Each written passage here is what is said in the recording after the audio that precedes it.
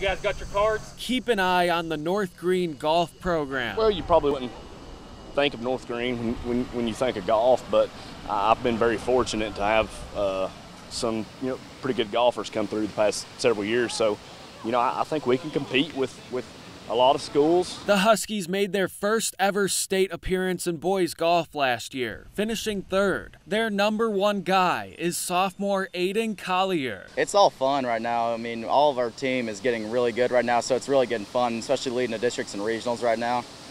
We uh, we're confident we can have a good chance of winning regionals and maybe even have a chance at winning state before all of us graduate. Aidan also made it to state individually last year, finishing second as a freshman. I've never seen anything like it uh, personally, but that's a testament to how hard he works. Um, he really, it really is a seven day a week job for him. It's all good right now. I'm just enjoying it. I mean, it's fun for me. This is all fun for me. I wouldn't do it if it wasn't, you know, if I didn't enjoy it.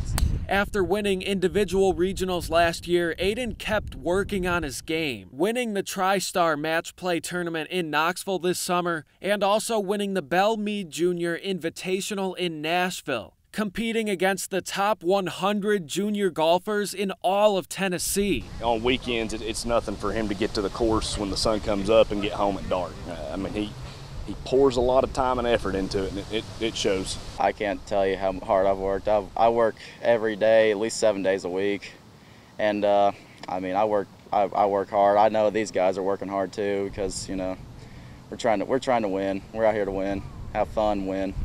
Aidan has built a strong bond with head coach Jason Lowe, who in his fourth year has driven this program to new heights. He's very important to the team success because like without a, without a good coach, you can't you know make a good team in my opinion. So him being a good coach, and I think all of us, you know, we, we have a little bit of fire in our spirits. We don't take it too serious. We know that we're, you know, at the end of the day, the goal is to win, but we, golf is supposed to be fun.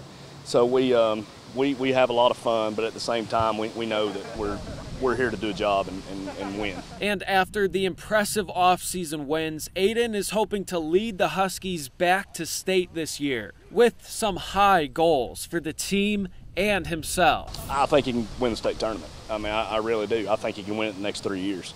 Um, he knows that that's going to be a tall task. Um, he plays a lot of tournament golf and knows that he's going to be, you know, seeing some pretty stiff competition down there, but uh, I'm, I'm confident he can do it. I think we actually fit in pretty good, really. Like, we've all improved really well. Now I feel like we can compete with a lot of teams now. It's really, it's, it's good to see. All of our teams gotten way better.